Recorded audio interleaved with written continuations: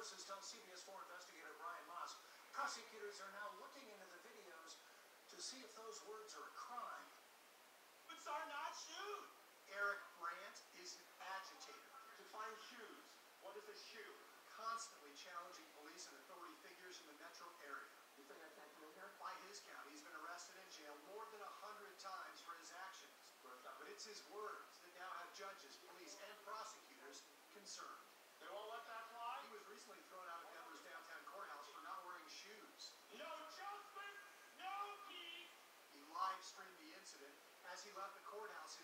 continue. This is why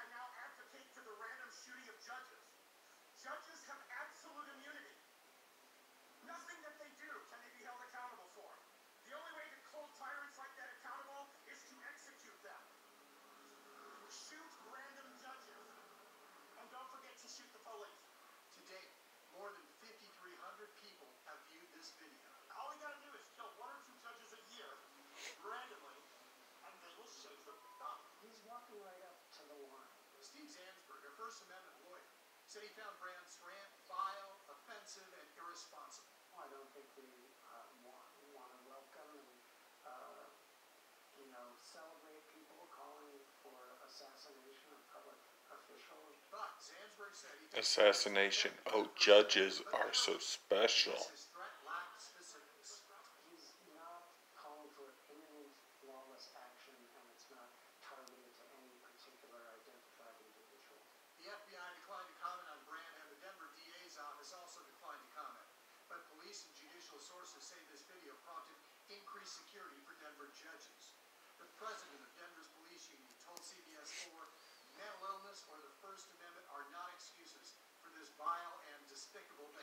But cops get to kill anybody they want, rape whoever they want.